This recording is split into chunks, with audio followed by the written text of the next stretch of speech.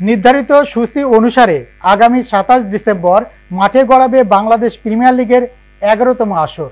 এর আগে আগামীকাল রাজধানীর একটি পাঁচ তারকা হোটেলে অনুষ্ঠিত হবে প্লেয়ার ড্রাফট। এবারের বিপিএল এর জন্য চারশো চল্লিশ জন বিদেশি ক্রিকেটার নিবন্ধন করেছেন। এদের মধ্যে অনেকেই সরাসরি চুক্তিতে দল পেয়েছেন।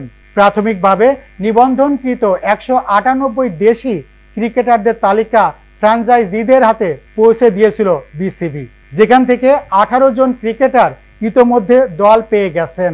বাকি একশো আশি জন ক্রিকেটারের ভাগ্য নির্ভর করছে ড্রাফটের উপর। চারশো চল্লিশ জন ক্রিকেটারকে বিসিবি পাঁচটি ক্যাটাগরিতে ভাগ করেছে। এ ক্যাটাগরিতে রাখা হয়েছে বিশ জনকে। বি ক্যাটাগরিতে আটত্রিশ জন, সি ক্যাটাগরিতে ছেষট্টি জন, ডি ক্যাটাগরিতে একশো পঁয়ত্রিশ জন এবং একশো একাশি জনকে রাখা হয়েছে ই ক্যাটাগরিতে।